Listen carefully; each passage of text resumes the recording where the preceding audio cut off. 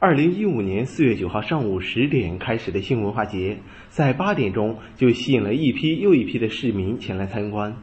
看到座无虚席的济南九龙大厅，卫生部原副部长殷大奎语重心长地说：“逃避的性太需要公开的平台。我国目前正处于高速发展时期，社会的变更无可避免地出现了一些不好的性现象，比如说性行为的不洁和泛滥。但这并不表示性的本真是不可被人认可和崇尚的。”对于本次性文化节受到不同声音的争议，殷大奎特别强调说。抛开性的生理需求定位，作为人类生活的重要组成部分，性从古到今已成为自己的文化体系，并且随着社会文明程度越发完善，性意义逐渐多元化。性文化节给阳光的性知识一个很好的公开平台。